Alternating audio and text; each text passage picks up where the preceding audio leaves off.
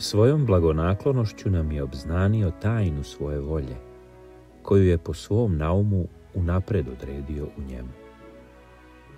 Bog voli da ukrašava i dekoriše. Bog mora da dekoriše. Ako mu dopustiš da dovoljno dugo živi u tvom srcu, ono će početi da se menja. Portreti povreda bit će zamenjeni pejzažima blagodati. Zidovi gneva i ljutine bit će srušeni, a labavi temelji obnovljeni. Bog ne može da ostavi tvoj život nepromenjenim, kao što ni majka ne može da ostavi suzu svoga deteta netaknutom. Ovo bi moglo da objasni neke neugodnosti u tvom životu. Preuređivanje srca nije uvek prijatno. Mi ne bi trebalo da se protivimo kada stolar doda nekoliko polica, ali on je poznat po tome što preuređuje celo krilo kuće. On ima veoma visoke težnje i planove za tebe.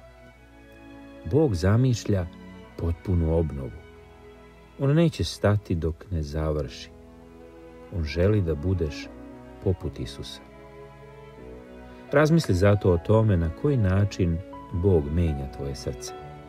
Šta je drugačije u tvom životu danas zbog ovih promjena?